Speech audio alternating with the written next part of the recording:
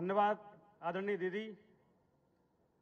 अगले वक्ता के रूप में भारत सरकार में केंद्रीय मंत्री, हम सबके लाडले नेता, इस गुना सीपरी संसदीय क्षेत्र के लाडले उम्मीदवार, आदरणीय महाराज साहब से मैं आग्रह करूँगा, एक बार जोरदार ताली बजाकर महाराज साहब को स्वागत करेंगे। भारत माता की, भगवान कृष्ण की, आदरणीय महाराज साहब। हमारे मंच पे आसीन। हमारे प्रदेश के नहीं, लेकिन जिनका आज एक वैभव का प्रकाश पूरे देश में सूर्य के किरण के रूप में फैल रहा है, ऐसे ही मेरे और आपके उज्जैन के महंकाल के हमारे मुख्यमंत्री आदरणीय मोहन यादव जी जो इस मंच पर विराजमान है। ये ईसागढ़ की तालियाँ नहीं है, मुझे ईसागढ़ की तालियाँ चाहिए। वहाँ पीछे तक तालियाँ बजे। पहले बार हमारे मुख्यमंत्री हमारे पावन धरती पर आए, ऐसा स्वागत होना चाहिए कि गूंज गूंज तक भोपाल तक पहुँचे मेरे भाई और बहनों।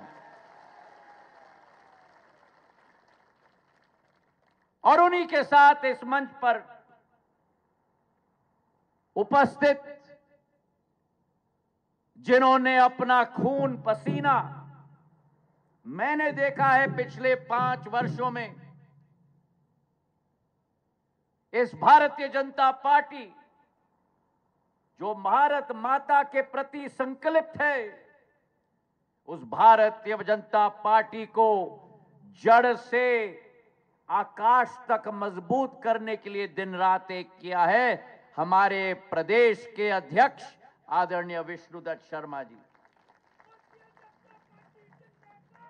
मंच पर आसीन सुशील स्वभाव की कोमलपन की प्रतीक।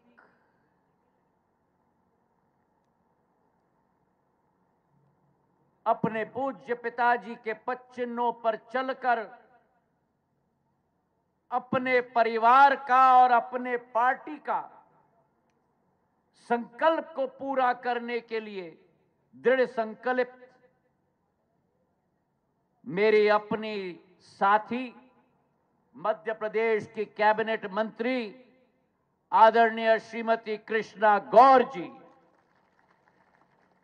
मंच पर आसीन हमारे क्षेत्र के सांसद केपी यादव साहेब। मंच पर आसीन आलोक तिवारी जी, ग्वालियर से आए हुए महेंद्र सिंह जी, हमारे जोशीले विधायक।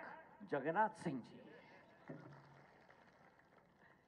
हमारे मंच पर आसीन ब्रिजेंद्र सिंह यादव जी, पूर्व मंत्री जी, कोलारस के विधायक महेंद्र सिंह जी, हमारे नवनिर्वाचित नौजवान, ऊर्जावान, मेरे साथी, जिला पंचायत के अध्यक्ष अजय प्रताप सिंह यादव जी और उनके साथ ही जहाँ अशोकनगर में जिला पंचायत का अध्यक्ष अजय प्रताप जी के रूप में है, वही आसपास शिवपुरी में जिला पंचायत की मात्र शक्ति अध्यक्षा नेहा यादव जी। राधेश्याम पारिक जी, लाखन राणा जी, सुरेंद्र शर्मा जी, पूर्व विधायक राव राजकुमार सिंह जी, गजराम सिंह जी, हरि सिंह जी सिरनाम सिंह जी, बैजनाथ यादव जी, आर एन यादव जी, हमारे श्रीमती चंदा यादव जी, प्रतिमान सिंह जी यादव जी, प्रियंका यादव जी, अभिषेक यादव जी, उर्मिला यादव जी, शिवेंद्र यादव जी, हमारे जिलाध्यक्ष यादव महासभा, केपी यादव जी, हमारे समक्ष मंचासीन महानुभव और मेरे लिए सबसे महत्वपूर्ण, मेरी आन बान और शान, ईसागढ़ और समूचे ज़िले से आई हुई मेरी समस्त यादव समाज को मेरा प्रणाम। आज एक बहुत महत्वपूर्ण दिवस है। जहाँ एक तरफ़ यादव समाज का सम्मेलन है, वहाँ दूसरी तरफ़ इसकी अध्यक्षता यादव समाज के प्रमुख हमारे मुख्यमंत्री मोहन यादव जी की अध्यक्षता में यह आयोजित किया गया है। ये एक बार फिर मध्य प्रदेश का नया उदय की शुरुआत है। और जैसे मेरे पूर्व वक्ताओं ने कहा, ये केवल भारतीय जनता पार्टी है मेरे भाई और बहनों, जो पिछड़े समाज, शोषित, वंचित, पीड़ित समाज, प्रधानमंत्री नरेंद्र मोदी जी के नेतृत्व में भारत और मध्य प्रदेश की बागडोर और इस भारत और मध्य प्रदेश का भविष्य का निर्माण करने का मौका भारतीय जनता पार्टी देती है, मेरे भाई और बहनों। इस पर मैं अभी विश्लेषण करूँगा। 2006 में बाबूलाल गौर जी को मुख्यमंत्री भारतीय जनता पार्टी ने बनाया था। जहाँ एक तरफ़ सुशील स्वभाव के थे। वहीं अंतरात्मा में सही निर्णय लेने में सदैव निर्भीक होते थे मेरे भाई और बहनों। और मेरा और उनका, मेरे पूज्य पिताजी और उनका, मेरी आजी अम्मा और उनका एक हृदय का संबंध था। और मुझे इस बात का गर्व है कि अगली पीढ़ी में भी आज वही संबंध आज भी जारी है मेरे भाई और बहनों। और आज एक बार फिर मुख्यमंत्री के रूप में भारतीय जनता पार्टी ने मेरे और आपके उज्जैन के महाकाल मंदिर की क्षेत्र से मोहन यादव जी को आज मुख्यमंत्री मध्य प्रदेश का बनाया है मेरे भाई और बहनों। और मेरे लिए तो ब्रिजेंद्र मेरे लिए तो अति गौरव की बात है। क्योंकि महाकाल की नगरी का नेतृत्व मेरे अपने मोहन यादव जी करते हैं। जिस महाकाल की नगरी के साथ सिंधिया परिवार का एक हृदय का संबंध रहा है मेरे भाई और बहनों।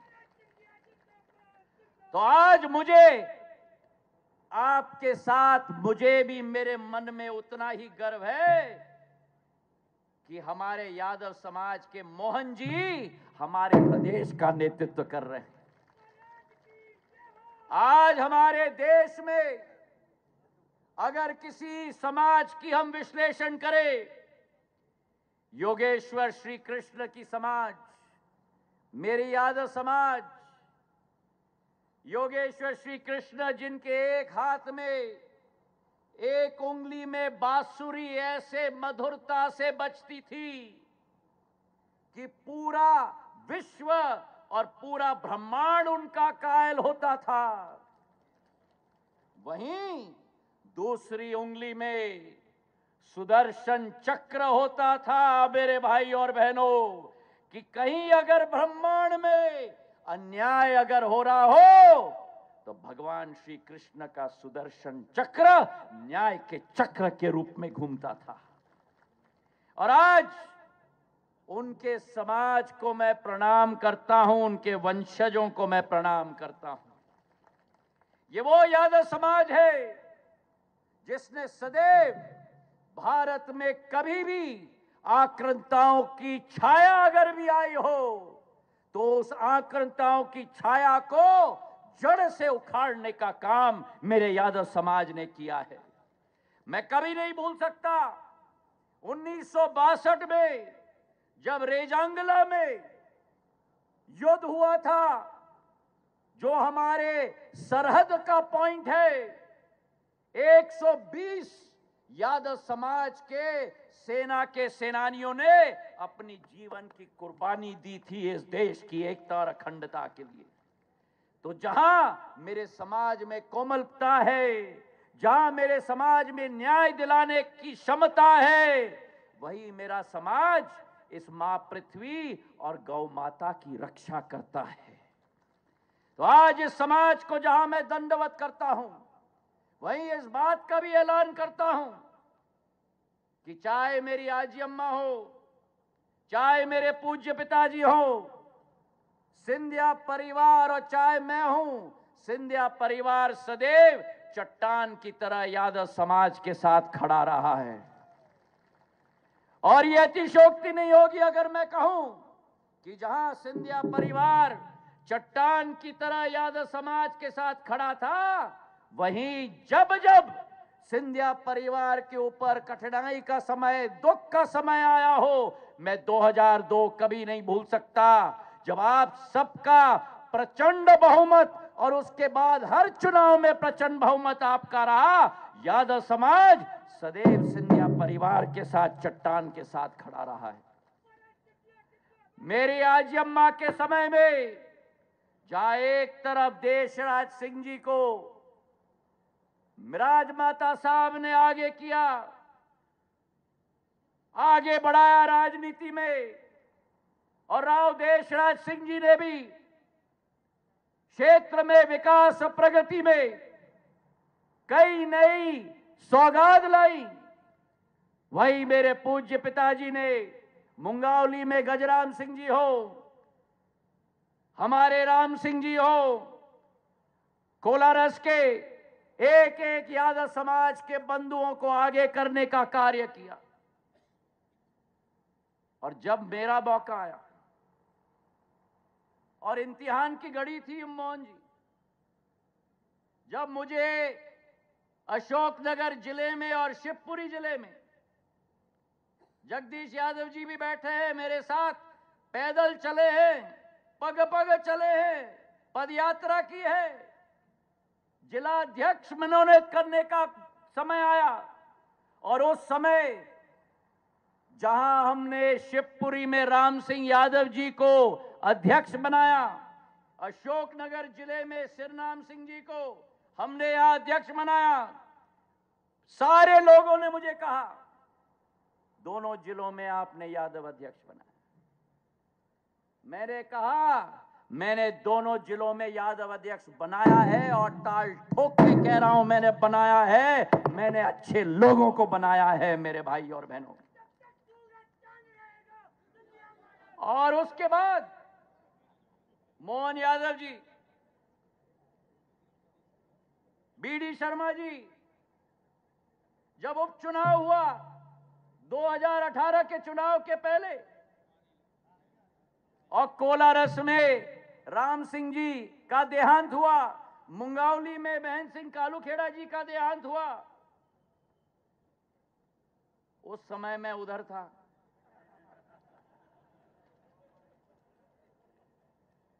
पूरी फौज आ गई थी यहाँ। सारे मंत्री आ गए थे यहाँ। और बड़ी चर्चा हुई कि प्रत्याशी किसको बनाए। शर्माते हुए दोनों ने अपने भाषण में अभी नहीं कहा। उधर महेंद्र यादव को हमने प्रत्याशी बनाया, इधर ब्रजेंद्र सिंह जी को हमने अपना प्रत्याशी बनाया। कोलारस और मुंगावली में दोनों यादव प्रत्याशी। सारे विशेषज्ञ मेरे पास आए। बोले, ये क्या कर दिया आपने? कैसे संभव होगा? कैसे जिताएँगे? मैंने सबको कह दिया, चिंता मत करो, दोनों यादवों के साथ ज्योतिरादित्य सिंधिया खड़ा है। आज मैं अपने समाज को, कोलारस और मुंगावली की जनता को धन्यवाद अर्पित करना चाहता हूँ कि दोनों विधानसभा में प्रचंड बहुमत से आपने झंडा फहराया था। दोनों विधायक बने और उस समय मैंने कहा था, आपको ऐसा सौगात में दूँगा जिसकी कल्पना भी आप नहीं कर सकते।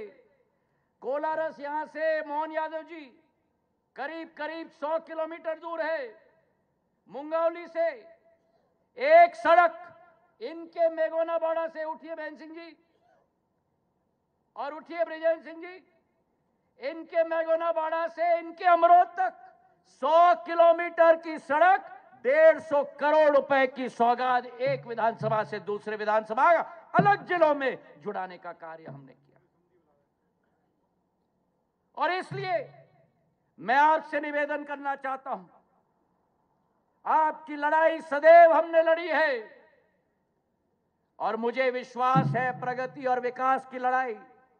अशोकनगर ज़िले में हम ट्रेन की बात करें, इन सड़कों की बात करें, चंदेरी के बुनकरों की बात करें, पानी की योजना की बात करें। और आज मैं आपसे निवेदन करना चाहता हूँ, ये प्रधानमंत्री नरेंद्र मोदी जी का समय है, ये भारत का समय है। और भारत निकल पड़ा है मेरे भाई और बहनों। भारत अपने सफ़र पर चल पड़ा है प्रधानमंत्री जी के नेतृत्व में।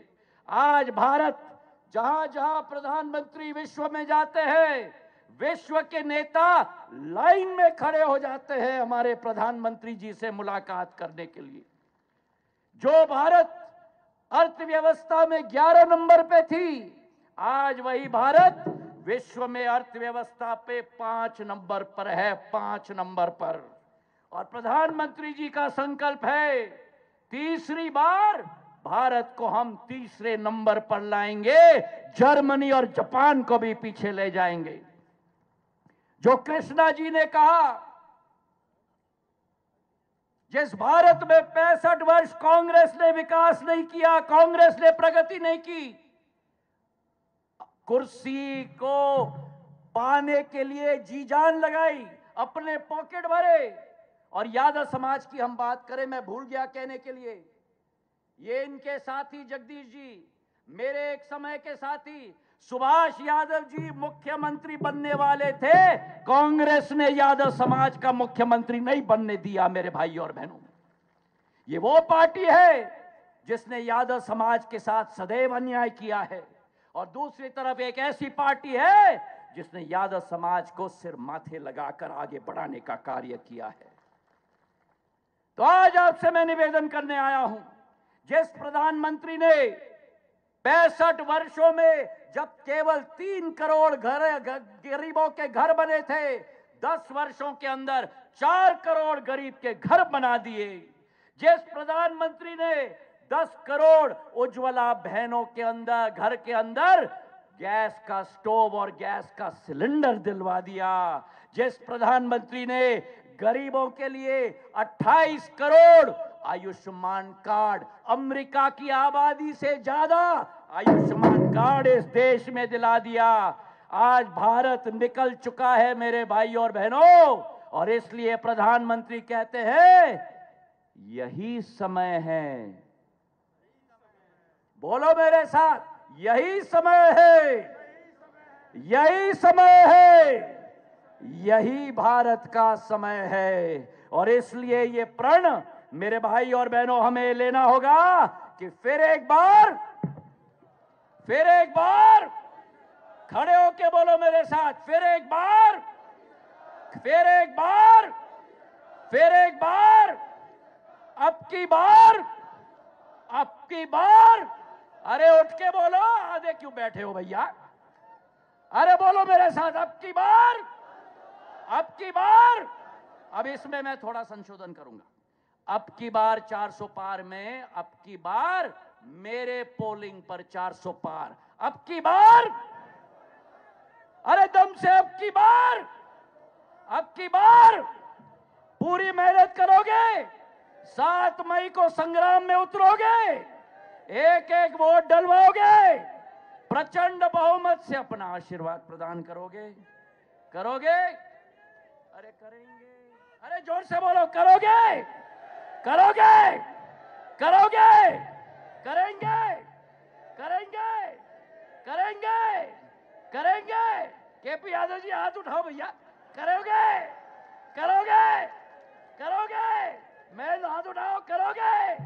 करोगे? बहुत बहुत धन्यवाद जय हिंद जय भारत।